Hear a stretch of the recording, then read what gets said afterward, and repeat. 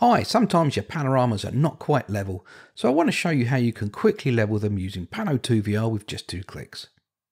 Okay, using Pano2VR's viewer, find a vertical line which should be straight in the panorama, in this case the side of the building. Now press and hold the L key, this will move the panorama to its horizon position and show the viewer's grid. Using the mouse, drag one side of the panorama up and down until the vertical line is straight with the grid line. While still keeping the L key pressed, release the mouse button and move to the straightened vertical line. Click and hold and you will see that if you move the mouse up and down, the straightened line will remain straight. With the L key and the mouse button still pressed, rotate the panorama to about 90 degrees and look for another vertical line. Again, move the edge up and down to align to the grid line. We now have two vertical straight lines 90 degrees apart it is this process which levels the panorama, adjusting both pitch and roll.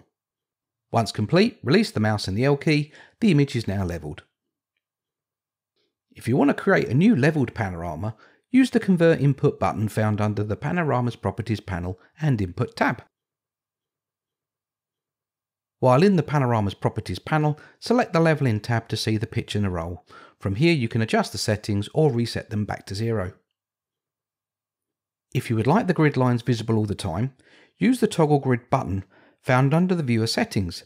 If the viewer settings are not visible, use the viewer settings button to show and hide them. Using a long press on the toggle grid button, you can adjust the number of squares and change colour.